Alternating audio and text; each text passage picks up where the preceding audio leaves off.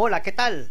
Ahora que se definió el resultado de las elecciones, los maestros esperarán con ansias los cambios en materia educativa a los cuales López Obrador se comprometió, por lo que el grueso del magisterio anda muy pero muy contento con este resultado. Pero quienes ya sienten pasos en la azotea son Juan Díaz de la Torre y sus aliados. Saben que el tapete del poder sindical está por moverse y en un acto de desesperación se adjudicaron lo que prácticamente ya es un hecho, la reversa a la reforma educativa.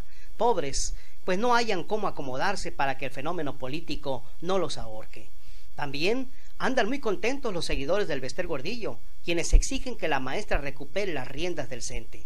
Pero la mayoría de los profes rechazan cualquiera de esos dos escenarios, porque su exigencia es la renovación total del sindicato.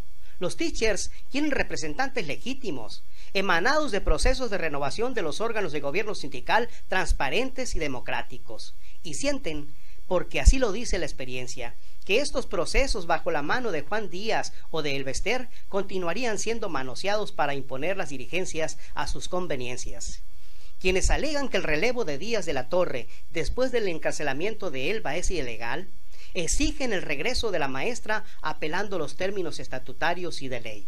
Pero olvidan que el Baester Gordillo, con la ayuda de Carlos Salinas de Gortari, usurpó el poder al traicionar a su mentor Carlos Jongitud Barrios, el entonces líder moral del magisterio, quien fue sometido por el régimen salinista. Es decir, el Baester pagó aquella traición a su mentor con la traición de su discípulo Juan Díaz de la Torre.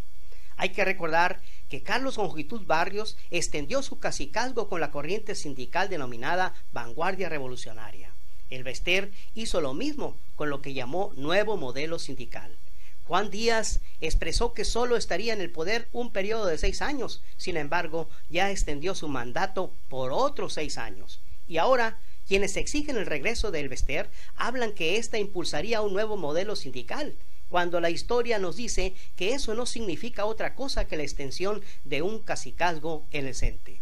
Lo más saludable es que tantos días de la torre y el pasen a la historia y se inicie con una nueva etapa de transformación que recupere el verdadero papel del sindicalismo. El escenario está muy ad hoc para que los profes cumplan finalmente con este justo reclamo. Y seguro es que la exigencia la harán saber de manera contundente, al igual como lo dejaron claro en el reciente proceso electoral.